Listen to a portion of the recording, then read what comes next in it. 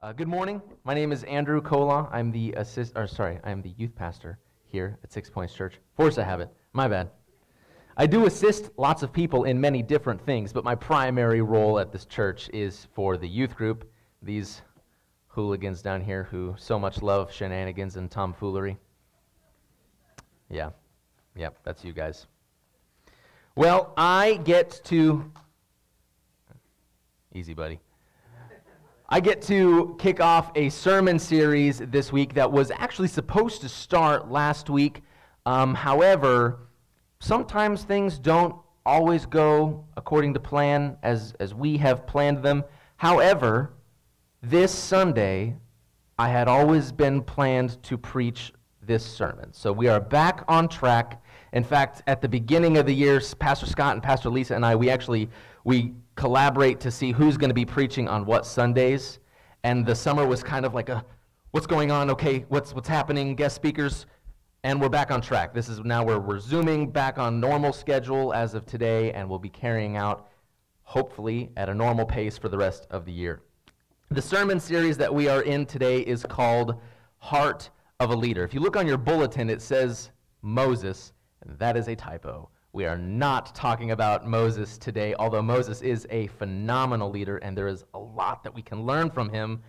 That was the series we did last time. Last year we did Heart of a Leader and we talked about Moses' leadership. This year we're going to be talking about Jesus' leadership leadership lessons from the Savior himself. So that is where we are going to be this week, and next week Scott will preach a sermon that is in tandem with this one.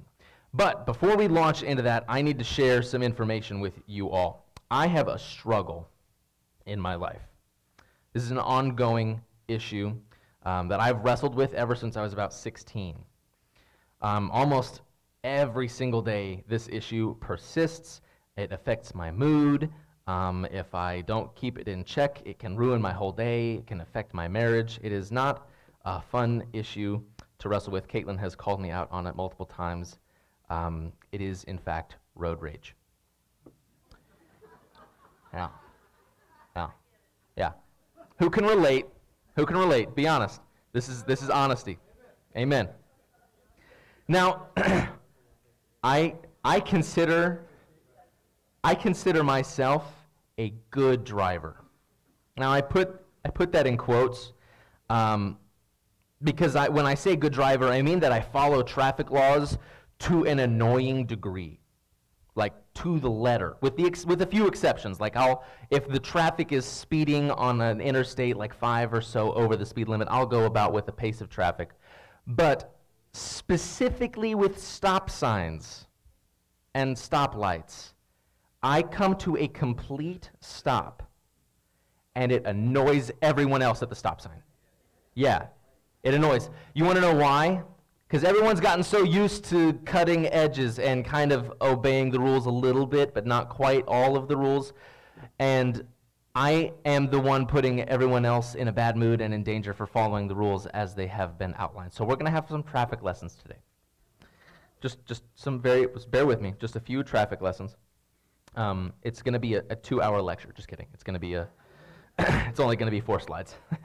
so let's talk about stop signs, okay? And I promise this will connect to my to my sermon. I promise it will. Stop signs are my biggest pet peeve, and Caitlin can attest to this. Almost every time I drive past that stop sign in Sheridan by the gas stations by Biddle Park, whew, I get I get mad. That stop sign is the worst stop sign I have ever stopped at ever. It, it needs to, something's got to give. That stop sign needs change. Amen. Praise. Praise God. Okay. Thank you. All right. All right. With the tomfoolery, guys. um, so that stop sign in particular has contributed greatly to my feelings on stop signs in general. Um, and I'm sure that many of you in this room can attest to personal stories that I have told you complaining about that specific stop sign. I'm, i know I've talked to Tony Cox, wherever he is, a number of times. I've talked to Pastor Scott and a number of you. That stop, I just, mm, Man, I'm getting, I'm getting mad. I should. Here we go. The reason I'm telling you about these driving frustrations that I experience is because I had a realization recently. Uh, Caitlin and I were going to go see a movie at an AMC theater over in uh, Traders Point, and there's a stop. There's an always stop sign outside that theater, and um, which, as you know, I love stop signs. So at that intersection, I arrive first. So, well, hold on. Before I continue, let's go over let's go over some traffic laws. So, rule number one at stop signs: stop. Do not proceed. Let your vehicle come to a complete halt. Then you may go under the following conditions. Rule number two the first car to arrive has the right of way. If you arrive at the stop sign before anyone else, congratulations. Once you've made your complete stop, you may proceed through the intersection. You did it. I'm being serious. Rule number two, or sorry, rule number three stop signs. If two or more cars arrive at the same time, the car furthest to the right has the right of way. Not the cars to the left, the cars to the right have the right of way. Remaining cars may then proceed in a clockwise pattern. Everyone knows how a clock works, right? So if this, I'm looking for you guys. So this is the hour hand. It does not go this way. It goes this way, clockwise. Okay? Clockwise. Awesome. Rule number four, and this one may be the most important rule the right of way is always given by the yielding drivers, it is not taken. Okay? If you have the right of way, you wait for everyone else to give you that right before you drive. I know it seems backwards because legally you have the right of way, but we all want to avoid collisions, right? How many of you have been in a traffic collision? They're not fun. They're not a good time. In fact, one of the worst accidents that I've ever been in was at a stop sign. And I didn't even have to stop. It was a two way stop with cross traffic not stopping, and some guy was like, hmm, this is optional, and blew it, and I T boned him at about 30 miles an hour. Barb remembers, she had to come pick me up in Indianapolis. Remember that, Barb? That was a stressful day. That was a stressful day. Totaled my dad's car. It was not a fun time. Anyway, part of my personality gets frustrated with traffic laws because, as I was saying in this accident that I was in, not accident, sorry, this interaction I had um, at a stop sign at the theater with Caitlin. So this person and I, we are arriving at the stop sign, but I arrive at the stop sign first, which means I have the right of way. Now, I could tell, because I've driven before, that the person approaching the stop sign after me was not going to stop. I could tell that.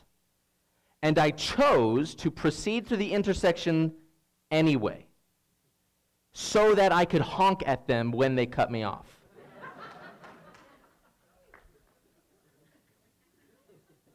now, you're all laughing, but Caitlin was not laughing when, when that happened. It was, it, was a, it was a moment where she was like, You didn't need to do that. And I felt justified, right? Because legally, I was following the rules and that person wasn't.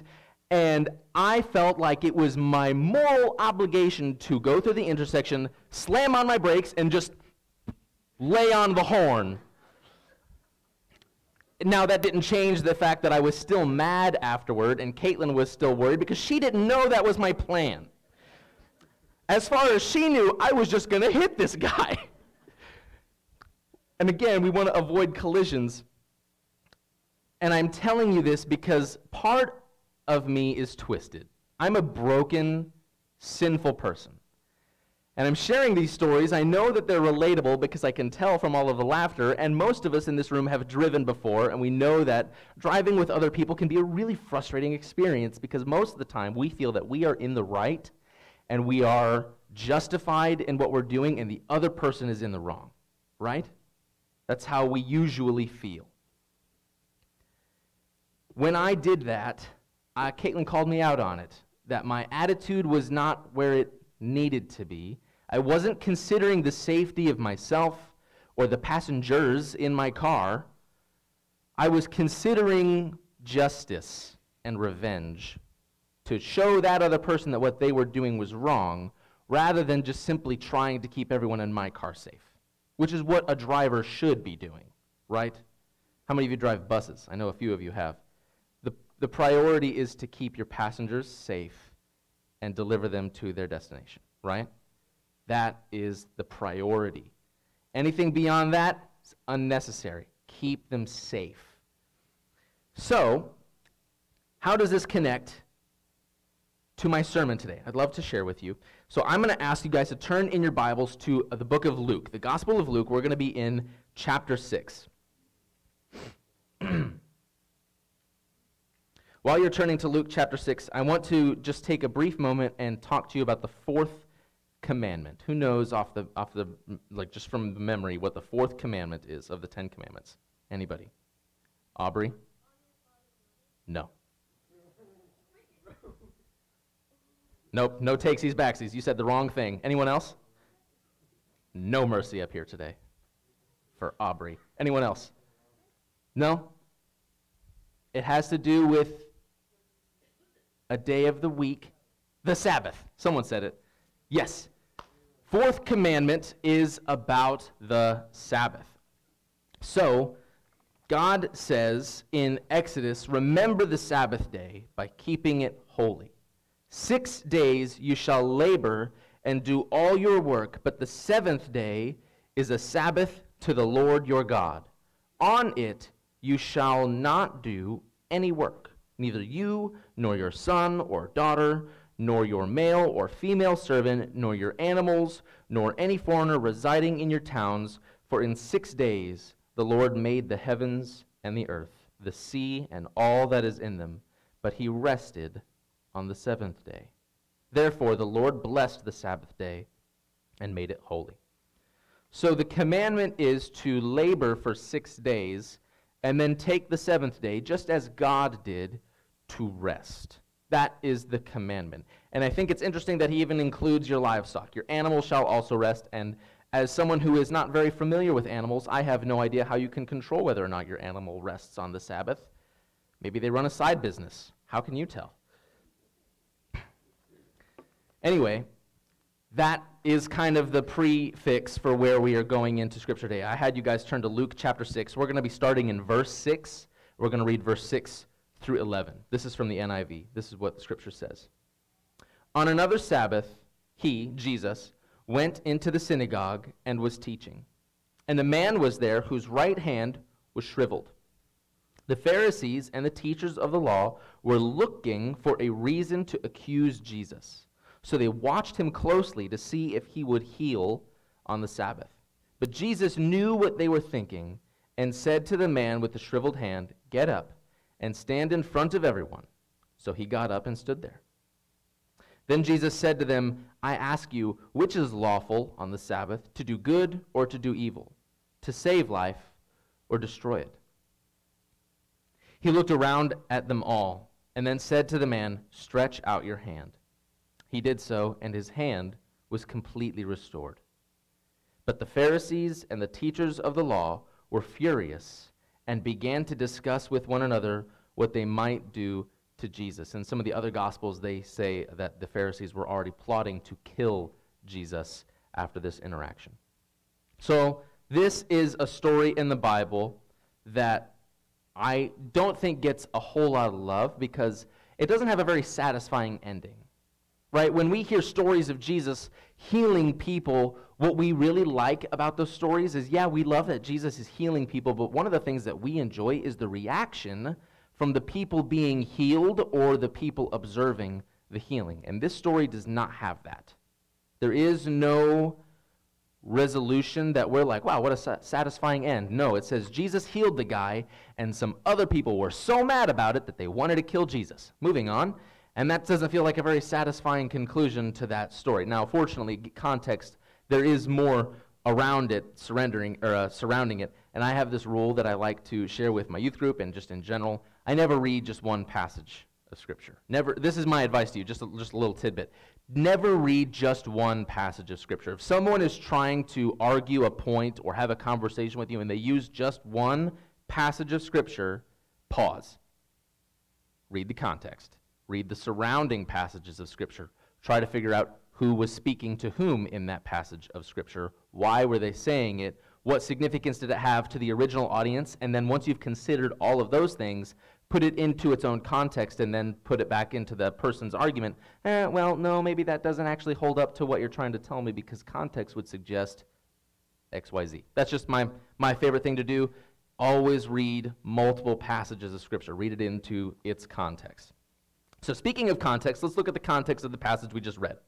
Jesus had already begun, this is early on in his ministry, okay? He had already begun to acquire a strong reputation. And for some people, it was very good, and lots of people were attracted to Jesus because they heard of the miracles he was doing and they wanted to see or experience those miracles themselves. Some people were not too happy about Jesus, and his reputation for those people was bad because he was upsetting the status quo of the religious elite. And that is what these Pharisees were struggling with in this story. So, we know another thing of context we know that the Pharisees cared very much about the laws regarding the Sabbath. In fact, we know they cared about them so much that they even went out of their way to invent additional laws to outside of the authority of Scripture to keep them from being tempted to work on the Sabbath or break the laws of the Sabbath. You could say that they cared about the Sabbath almost as much as I care about stop signs. Almost. So let's unpack this passage together. We know that Jesus is already kind of developing a reputation. We know that the Pharisees care very strongly about the keeping of the Sabbath. Now, I, I read into some commentaries that typically when someone was to violate a law regarding the Sabbath, it wasn't done intentionally, it was accidental, and it was a very minor case often a slap on the wrist, like, mm, you're not supposed to be doing that on the Sabbath. And for someone to intentionally violate the Sabbath was a bigger deal, but none of that was worth capital punishment, which is what the Pharisees were considering for Jesus, who had violated this law. They really, really wanted him go- gone. So, my first and ultimately my biggest takeaway from this passage when I was reading through it is that Jesus leads with unapologetic leadership. In fact, that's actually the title of today's sermon Unapologetic Leadership. Now, what does that mean? What does the word unapologetic mean? Well, simply put, all it means is that he led without feeling a sense of regret for what he was doing. He knew what he was doing as he was doing it, and he knew it was the right thing to do, the good thing to do. So to do something unapologetically means that I am going to do something and I am not going to regret it because I know that this is right. That's unapologetic leadership. So, Jesus leads unapologetically. So, what is the main point? My big takeaway is with that unapologetic leadership, here's what I want to say. And if you get nothing else today, if you forget everything I've shared, even the hilarious stop, bit, stop sign bit at the beginning, I want you to remember this one takeaway, which is this. If you want to live the way that Jesus lived, you have to lead the way, the way that Jesus led. If you want to live the way that Jesus lived, you have to lead the way that Jesus led. So we know we're supposed to live like Jesus. It's written all over Scripture that we are to act like our Savior. In fact, one of my favorite passages in the Bible is written uh, by a man named Paul in his letter to the church in Ephesus. Um, Paul writes this in Ephesians 5 1 and 2. He says, Follow God's example, therefore, as dearly loved children and walk in the way of love, just as Christ loved us and gave himself up for us as a fragrant offering and sacrifice to God. And some translations even say, be imitators of God, right? Follow God's example, imitate his actions. So, what does that look like? How do we follow in Christ's example? Jesus lived over 2,000 years ago and here we are in the 21st century, and we're supposed to follow his example, and all we have is the text, the disciples' um, testimony of the Gospels and the New Testament, the letters that Paul had written. This is, this is really all we have to go off of. Well, I would argue that that is more than enough, and I will give you a practical example from my own personal experience. We've all imitated things before, right? Yeah? Okay. Sorry. I usually work with the youth group, and I'm used to like more feedback. So like, feel free to be like, yeah, uh huh, raise your hand and, and give me some emphatic head nods. That'd be great. We've all imitated things before, yeah? Yeah. Oh, cool. So, he knows what he did. I don't even need to say anything. So, when I want to, I want to share a story, right? We imitate things for all sorts of reasons, whether it be to just be silly, to mock someone, or to learn something. We've all imitated people or things before, and I want to share this story. When I was in high school, I was in marching band. Who who was in marching band in high school? nerds. Just kidding. we, I was in marching band too. We're all nerds here. It's fine. Um, I, I actually loved it, and I'd love to talk to you about your experiences in marching band. That was probably my most cherished memories from high school were in the marching band. And as a student in the marching band, I auditioned my freshman year to be the drum major of the marching band for my sophomore year.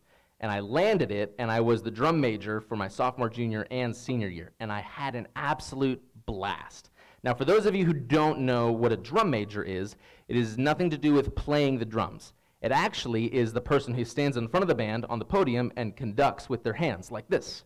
And so I stood in front of the band and I would conduct and I would give cues and I would do cutoffs, and that was my whole job. I stood in front of the band and I conducted them, and I loved it. However, when I started, I was terrible at it. I was no good at all. And I needed to get good to lead the band because if a band doesn't have clear cues, they're not going to know when to come in, they're not going to know when the downbeat of a measure is, and the sound is going to be bad if you're not giving them clear leadership. That's a problem. And so I needed to figure out how to do drum majoring well. And the way that I did that is I was taught by my band director. And I want to share the way in which he taught me. It's a really, really cool story he we have so our high school had this like dressing room for like theater for like plays and musicals and stuff and the whole room was just coated in mirrors all over the place because all of these students getting into costume you're trying to put on makeup and stuff like that. So the whole room's coated in mirrors. And so we went in there and he brought this little radio speaker thingy and he put the marching show on and he had me stand right next to him. So he would stand here and i would stand here and we would both look straight forward. We could see each other in the mirror, and we were listening to the show, and I would try to conduct the show next to my band director, Mr. Paget. And I could see in the mirror how good and clean and crisp his movements were as he kind of bounced a little bit with the song, or if it was a more smooth and legato song, he would gently flow his hands, kind of like he was bringing them through water. And he would do these big sweeping motions, and it was really, really cool. And I'm over here like, but I could see the difference because of the mirror, because I was looking at the comparison between the two of us. I could see I am clearly not as experienced as him, and so what I was trying to do is try to match his movements exactly. And he would give me pointers and tell me how to do this with my arms or whatever, how to breathe how to bounce with my heels a little bit. And eventually, at the end of all of these training sessions, I started to look more like the master. You see where I'm going with this? Can you kind of tell a little bit where I'm going to be going with this? I was imitating him, and it was making me a better leader. And so eventually, I went in front of the band, and we played our shows and we won awards and it was not all just because of me. The band did a great job too but i owe it to the teachings of my band director who had the patience to sit down and show me motion for motion what to do with my body. And that was how i imitated a master to learn how to do the job correctly. So this is what the disciples were trying to do with Jesus as they followed him around. And it should be what we try to do with Jesus. We should watch as we read Scripture how is Jesus interacting with people? And compare how do I interact with people? Am I doing things the way that Jesus would do them? And if not, maybe we should try to work on making it so that we are doing the things that Jesus was doing. Now, that's all good and fun. We all want to have the life of Jesus. But few of us are willing to surrender our comfort in order to have the lifestyle of Jesus. And sometimes that comfort includes our selfish attitude towards other drivers on the freeway. So, Like I said earlier, if we want to live like Jesus lived, we have to lead like Jesus led. So this begs the question how did Jesus lead? Well, let's go back and let's look at that passage again. I'm going to I'm going to read starting in verse 6, Luke 6 6 again. Here we go. I'm going to stop halfway through. On another Sabbath, he went into the synagogue and he was teaching. Okay, so Jesus was teaching. And a man was there whose right hand was shriveled. The Pharisees and the teachers of the law were looking for a reason to accuse Jesus, so they watched him closely to see if he would heal on the Sabbath. Verse 8 is key. This is what we're going to talk about. But Jesus knew what they were thinking and said to the man with the shriveled hand, Get up and stand in front of everyone. So he got up and stood there. I'm going to pause. If we are going to lead how Jesus led, and we are going to follow his example, how are we supposed to know what's going on inside the thoughts of others? Because Jesus is seen doing that multiple times. It's documented that he knew the thoughts of people who were doubting him. He knew what the Pharisees were thinking before they said anything. How are we supposed to follow a leader who can literally read thoughts? Right? That's not something that we are capable of. However, we, we are capable of reading a room, right? As in that intersection with, with at the movie theater, I could tell he wasn't going to stop. I knew he wasn't going to stop. And I chose to put us in a situation where it just made me angry. And it really didn't affect him at all, I don't think. I don't know. I've never had another interaction with him. But I could tell, right? Where we have the ability to read a room. So, supporting points. Number one, Jesus knew that healing on the Sabbath would have been frowned upon and hated by the religious elite. He knew they weren't going to respond positively to what he was doing that day. He was very aware of that. Jesus went into the situation aware of the room. He knew that it was about to ruffle some feathers. However, although he knew what the Pharisees were thinking and he probably knew how they would respond, his intention was not simply to make them mad for the sake of making them mad. Right? That's just petty. And we know that Jesus isn't a petty person, he's the Savior of the world. His interaction with the Pharisees certainly stirred the pot, but his intention was not just to make them upset for the sake of making them upset. His primary goal that day was to heal a man with a shriveled hand and teach. He was in the synagogue, what? Teaching. That was his that's why he was there in the first place. He was also there to demonstrate why God made the Sabbath at all. Let's really quick, I want to take a look at a passage in Mark chapter 2. Um, this is another passage about the Sabbath and another interaction between Jesus and his disciples and the Pharisees. And Mark chapter 2, 27 says this.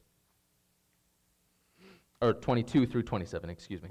One Sabbath, Jesus was going through the grain fields, and his disciples walked along they began to pick some heads of grain. The Pharisees said to him, Look, wh- why are they doing what is unlawful on the Sabbath? He answered, Have you ever read what David did when he and his companions were hungry and in need? In the days of Abiathar, the high priest, he entered the house of God and ate the consecrated bread, which was lawful only for priests to eat. And he also gave some to his companions. Then he said to them, Jesus said to them, The Sabbath was made for man, not man for the Sabbath. So the Son of Man is Lord even of the Sabbath. And this passage leads me directly into my second point for today, which is this Jesus cared more about loving people rather than strictly following a tradition for the sake of following a tradition.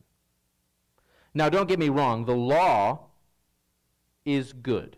Jesus fulfilled the law, he obeyed all of it. God gave the Israelites the law not to be oppressive, He gave them the law to help them and to set them apart from the rest of the world so that through these chosen people a Savior might come to save us all from sin.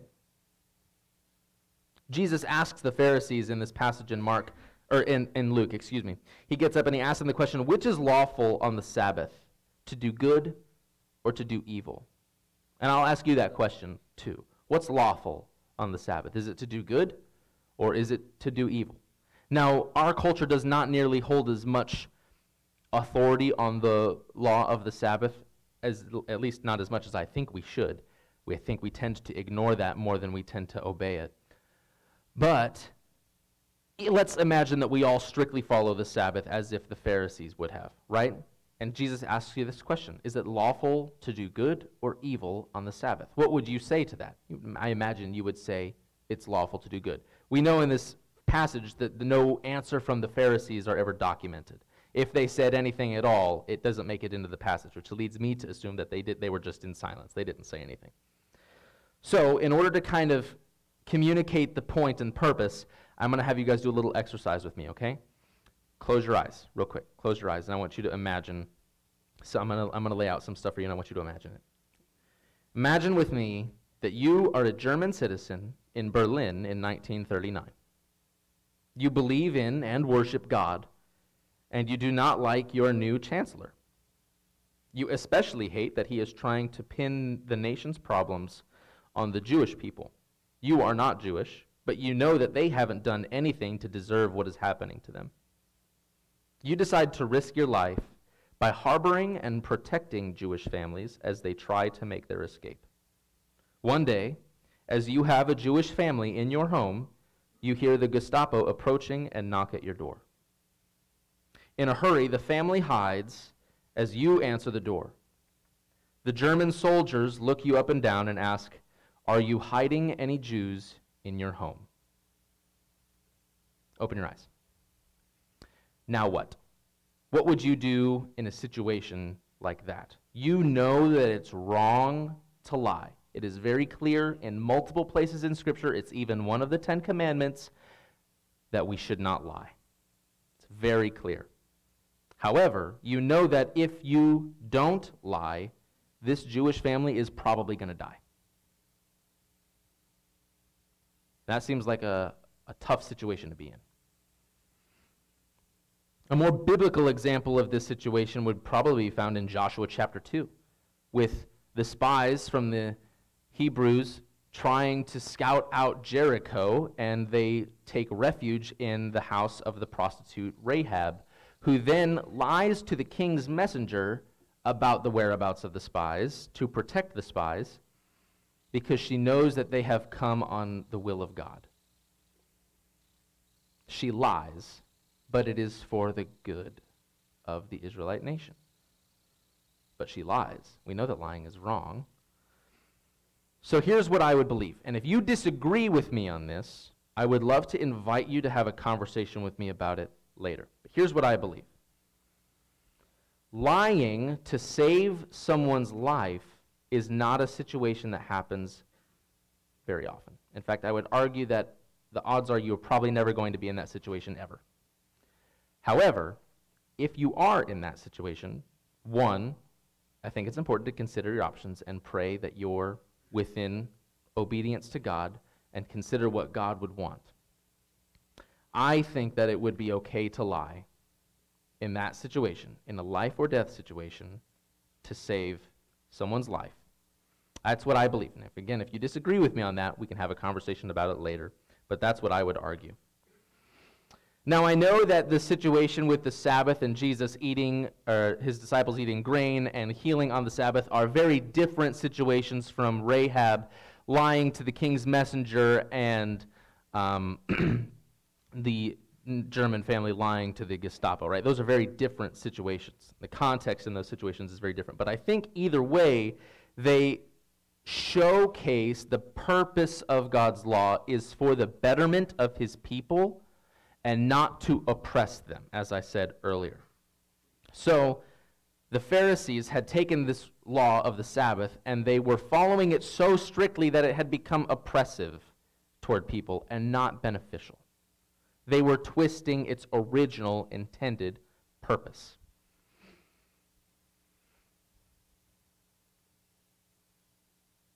Both examples, all of the things we've just said, help us to see God's love and eventually make us more like Him. And my final point for today is this within this passage in Luke, Jesus loves in two very clear ways healing and rebuke.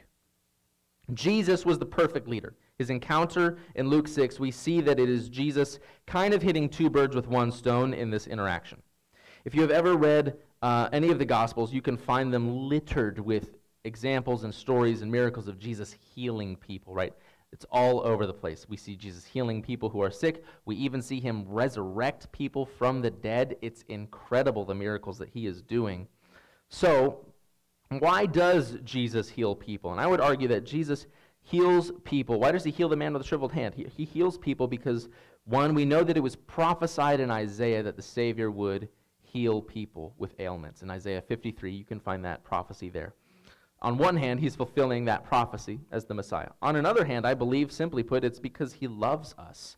And he wants us to experience that love, one, firsthand, and two, so that we will respond with love to our Savior right? That's what worship is. Worship isn't just us gathering at a church because it's our, our duty as a Christian to sit in church and worship the Lord, and I've checked that off my box. No, this is a response. What we're doing here is a response to God's love. We want to respond to that grace in worship.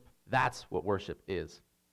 So, Jesus heals us so that we can experience that love firsthand and also so that we can respond and love Him in return.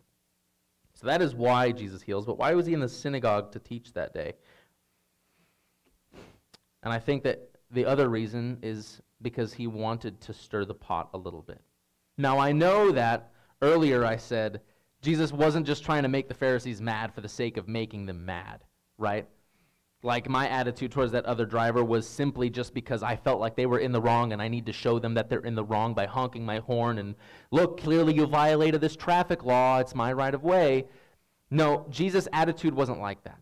He loved the Pharisees too, just like he loved the disciples, just like he loves the Jewish families in Germany, just like he loved the Gestapo, just like he loves you or me or anyone else that has ever lived or that will ever live. His love does not know any boundaries. It is limitless. Not everybody responds to that love, unfortunately, but his love cannot be stopped. And so his love extends to the Pharisees that day, and in, they, I think, needed love in a different way than the man with the shriveled hand. You see, they were, as I said earlier, taking and twisting one of God's laws into an oppressive law, and Jesus was like, mm-mm, that's not what the intended purpose was. And he demonstrates it by healing on the Sabbath and saying what is lawful to do good or evil on the Sabbath. If we want to live the way that Jesus lived, then we need to lead the way that Jesus led. Jesus had a wise and a loving heart who knew when to show mercy and when to show rebuke. And that's the key. And that's where I usually fail, is because when I show rebuke, I don't always do so with a loving heart. I do so out of a twisted sense of superiority, that I feel that I'm better than someone else, that I'm in the right. But I'm a sinner. You're sinners. We're all sinners. None of us are in the right. And so when Jesus rebukes, I think we should learn from his example that day, as he wasn't there just to make people mad. He was there to teach, he was there to heal, and he was there to love. Our attitude changes the way that we handle those interactions. That day, as I was driving with Caitlin, I should have just stopped and let that other driver pass. There's nothing I could have done about it. Being mad and honking wasn't going to change the situation. I wish I had thought of that before I made my wife upset. Sorry, Caitlin. I love you. I want to leave you with this because many things in our life are out of control and we'll face situations where people have really hurt you and they've done things and you feel like this person has wronged me and I want justice. But justice, when it's up to us, is not usually very good.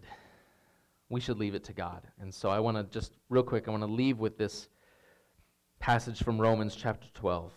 17 through 21 says this Do not repay anyone evil for evil. Be careful to do what is right in the eyes of, excuse me, be careful to do what is right in the eyes of everyone. If possible, as far as it depends on you, live at peace with everyone. Do not take revenge, my dear friends, but leave room for God's wrath. For it is written, It is mine to avenge, I will repay, says the Lord. On the contrary, if your enemy is hungry, feed him. If he is thirsty, give him something to drink. In doing this, you will heap burning coals on his head. Do not be overcome by evil, but overcome evil with good. And God is a good God, and he loves in good ways. And if we want to love the way that God loved, then we need to lead the way that he led. So, church, will you pray with me today? Father, we are grateful that you sent your Son, Jesus, to die on the cross for our sins as the atoning sacrifice for all of that is wrong with this planet. But we know that although that was his primary purpose, he had other purposes as well, and those were to teach us and to show us the way, to lead by example. And so, God, I ask that when we are in situations where we are feeling frustrated, flustered, mad, or wronged, and we want justice, that we will yield to your authority and trust in you. That when we rebuke people who are doing things that are wrong or bad, we will do so with a loving heart. That our motives won't simply be just to make other people feel wrong or bad, but our motive will be to help them, to teach them, to correct their behavior so that the wrong continues no more. God, we want to be more like you. We want to be faithful servants who trust you. I ask all of these things today in the holy and powerful name of Jesus. Amen.